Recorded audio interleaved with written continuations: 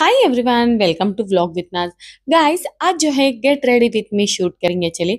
ये वाला cotton dress style करने वाली, बहुत ही सिंपल है एंड कैजुअल है। मैं किस तरह स्टाइल करूँगी, वो भी दिखाऊँगी। चलिए।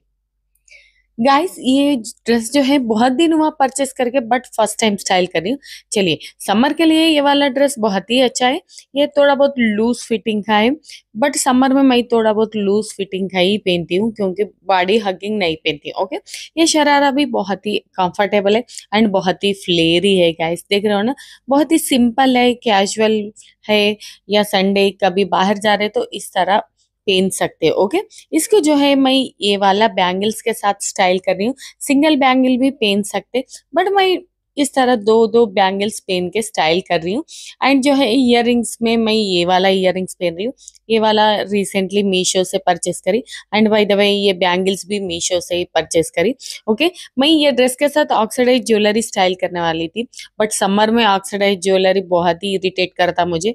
इसलिए सिंपल सा एसेसरीज यूज़ कर रही हूँ। ओके हेयर स्टाइल जो है मेरा हमेशा का हेयर स्टाइल है।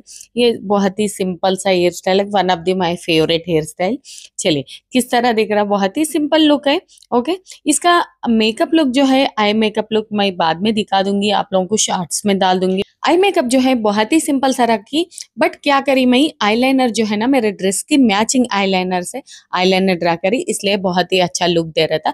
ओके ओवरऑल लुक जो है ये है, इसके साथ जो है ये हैंड बैग कैरी। करी बहुत ही सिंपल सा लुक है। फ्रेंड्स के साथ कहीं जाते वक्त भी इस तरह का लुक कैरी कर सकते हो, या फैमिली के साथ घूमने जाते वक्त भी इस तरह लुक कैरी कर सकते हो।